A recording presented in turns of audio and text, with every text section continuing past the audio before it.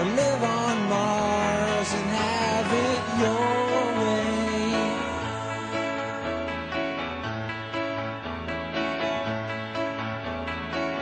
And you hate your boss at your job, but in your dreams you can blow his head off.